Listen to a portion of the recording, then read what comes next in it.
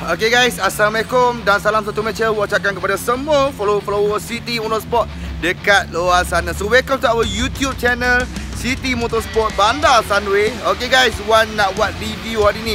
So ni adalah regular customer kami uh, dekat City Motorsport Mercedes-Benz CLA facelift. Kita orang dah pasang banyak kabel-kabel fiber parts dekat CLA ni. Tu kat belakang tu nampak tu. Banyak dah pasang and then kita dah pasang turbine aircon with ambient lights. Ha, kat dalam bahagian interior semua ada ambient light ada 16 color. So jom tengok video dia sampai habis.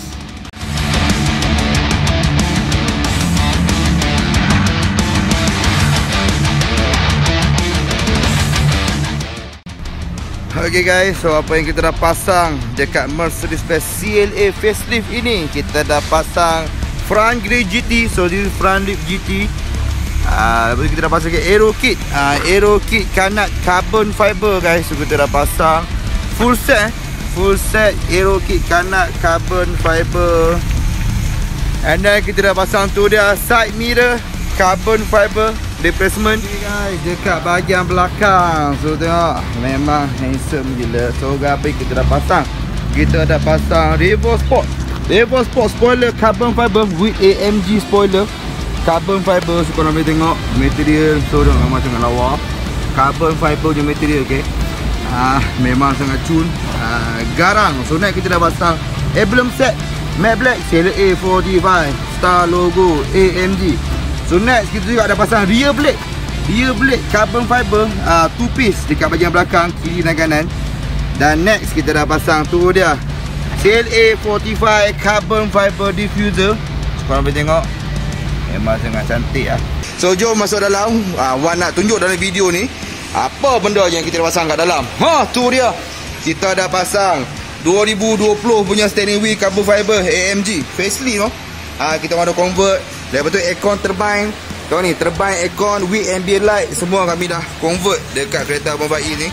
Semua. So kita kat dalam kereta CLA sekarang ni. Tu Wan uh, Start Ah, kita dah pasang steering, lepas tu pedal shift carbon fiber. So tengok memang banyak part-part yang kita dah pasang dekat kereta Abang Faiz tu. So main kereta dia dekat sini. So korang boleh check it out dekat sini.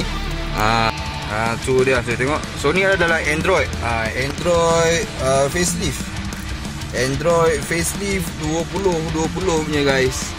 Ah, so ni screen. Size dia lebih kurang uh, 10.5 inci. Nah, Sony screen dia Korang boleh tengok. Uh, Sony main kereta dia. Touch screen guys. Touch screen tu uh, So antara function-function ni korang boleh tengok. Kita ada dashboard. So kita dashboard ni apa function dia. Kita klik kau. Uh, Digital meter. Jadi kita rem minyak tu. Uh, So dia ada digital meter. Uh, Apa pemaan dia lah.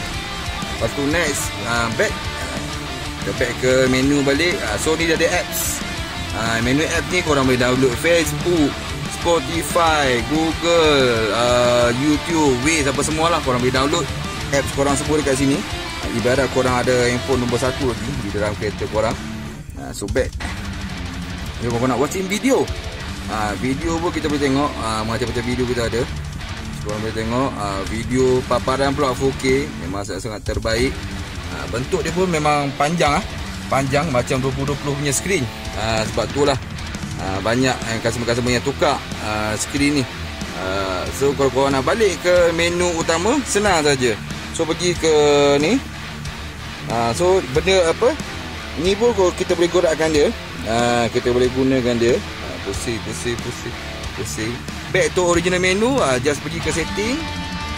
Uh, so boleh pergi ke sistem radio.